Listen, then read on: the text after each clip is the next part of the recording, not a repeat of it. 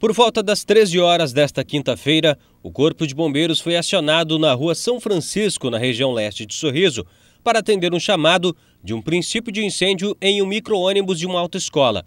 Rapidamente, a equipe com a unidade de resgate e a autobomba-tanque estiveram no local para eliminar as chamas, mas já haviam sido contidas. Entrou para nós veio um 93, né, incêndio em um ônibus escolar. Chegamos aqui, era um ônibus de autoescola, né?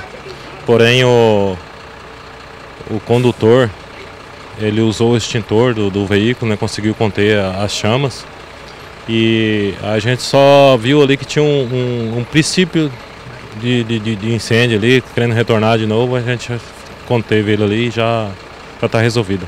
A rapida ação do condutor impediu que o princípio de incêndio se espalhasse pelo veículo.